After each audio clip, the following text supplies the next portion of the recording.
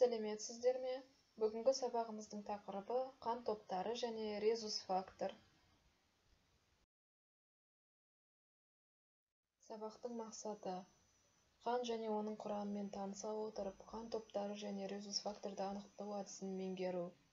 Сабақтың міндеті қанның жеке сәйкестігін және резус сәйкестігін анықтау әдісін меңгеріп алған білімдерін практикада қолдануға үйрету. Бүгінгі сабақтың жоспары қан және оның құрамы қан тобы және оның түрлері қан тобын анықтау резус факторды анықтау. Өткен тақырыпты қайталау. Біз алдыңғы сабақта дисмургия тақырыбын өткен болатынбыз. Енді сол тақырыпты біраз еске түсіру мақсатында берілген суреттерде қай таңғыштың суреті бейнеленген және оларды қай кезде қолданамыз? Соларға жауап берейік.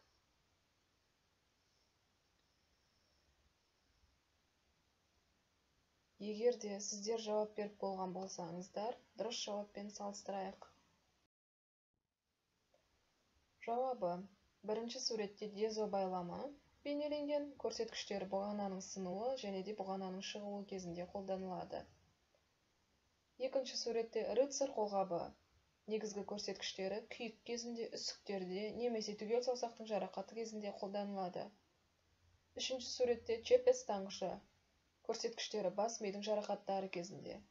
Төртінші суретте бинокулярлы байлам. Көрсеткіштері көздің жарақаттары кезінде қолданылады. Бүгінгі тақырыбымызда қанның құрамы яғни қанның құрамымен танысатын болсақ қанның жалпы мөлшері дене салмағының алты сегіз пайызын немесе төрт алты литрге дейін құрайды. Қан плазмадан және де формалық элементтерден құралады плазма ол елу екі елу сегіз пайызын алатын болса қанның жалпы мөлшерінің формалық элементтер қырық екі қырық сегіз пайызын алып жатады. Плазманың өзі органикалық және бейорганикалық заттардан құралады ал формалық элементтерге эритроциттер лейкоциттер тромбоциттер жатады. Эритроциттердің негізгі қызметі оттегін тасымалдау лейкоциттер тікелей иммунитетке жауап береді. Тромбоциттер ол қанның ұю процесіне қатысады.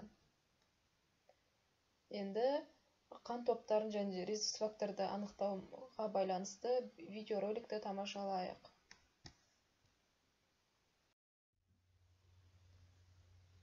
Қан топтары және резус факторды анықтау үшін бізге цаликлон анти а цаликлон анти б және де цаликлон анти аб және де резус факторды анықтау үшін цаликлон анти д супер қажет болады.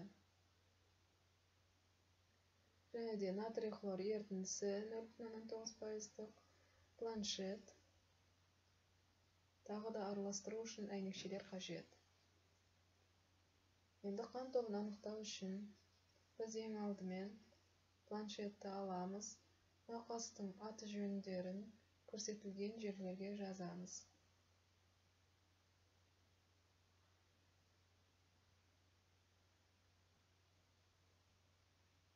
Енді біз әр ұяшыққа өзіне тиісті цаликлондарды құйып шығамыз анти а көрсетілген ұяшыққа анти а цаликлонын құямыз одан кейінгі ұяшыққа цаликлон анти в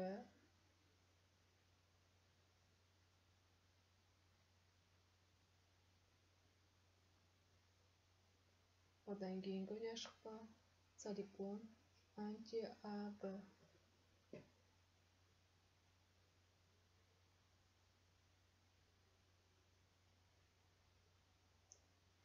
резус факторды анықтау үшін антиді суперді тамшылатып құямыз.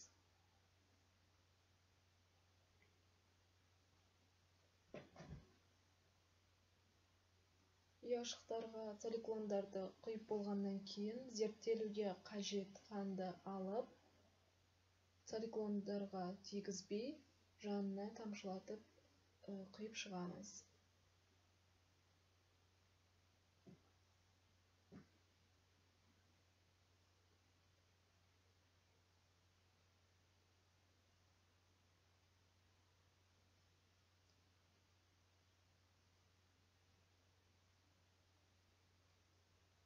Одан кейін әйнекшенің көмегімен қан мен целлюлондарды бір бірімен араластырамыз.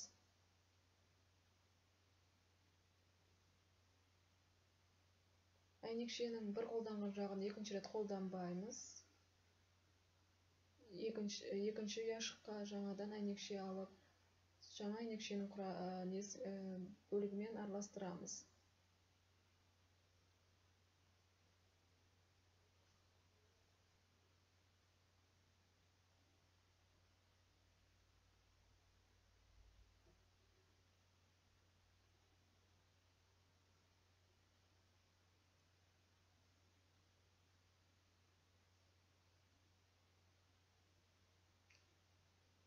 Араластырып болдық енді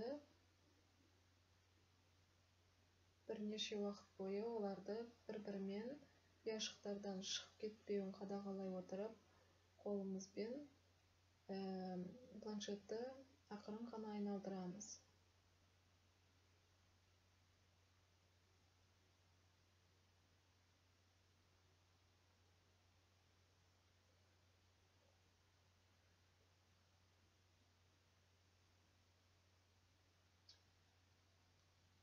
Енді пайда болған нәтижелерге көз жүгіртейік.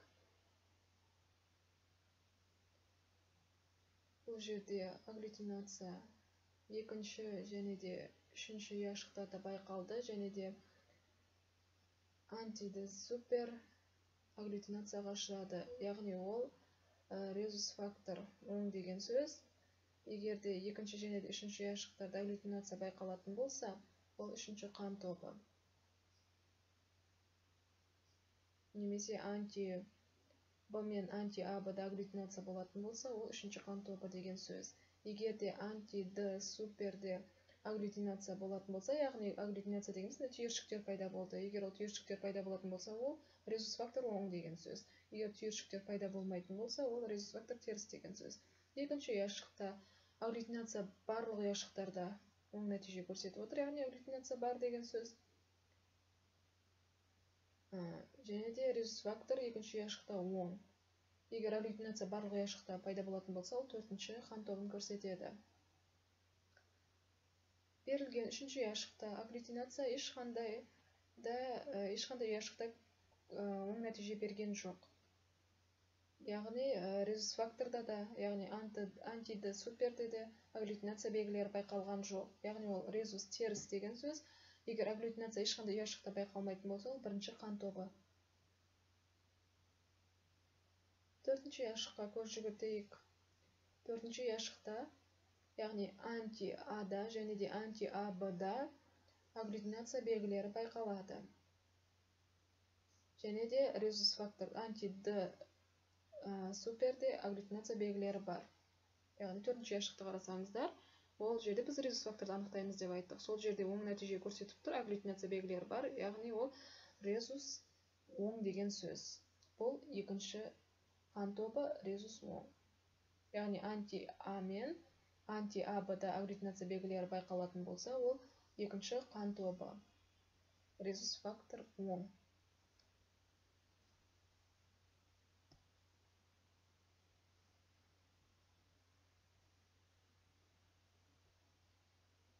Осымен біз қан топтарын анықтап және де резус факторларын анықтап болдық. Қан туралы қызықты мәліметтер.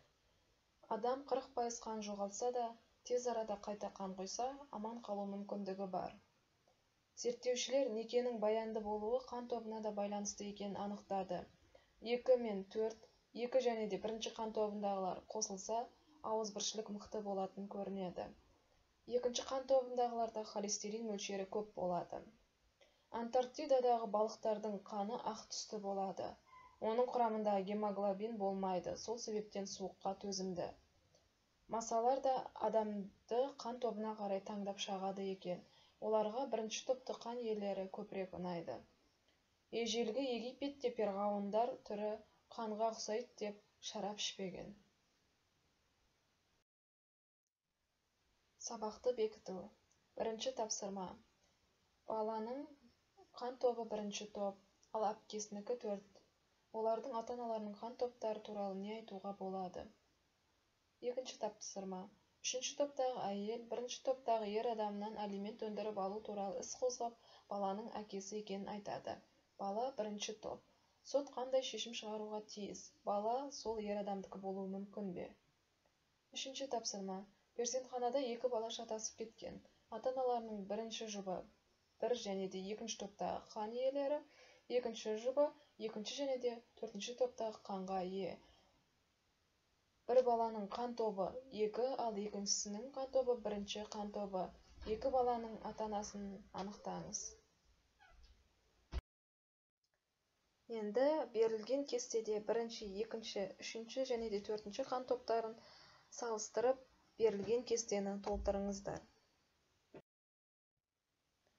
Бүгінгі сабақты қорытындылау.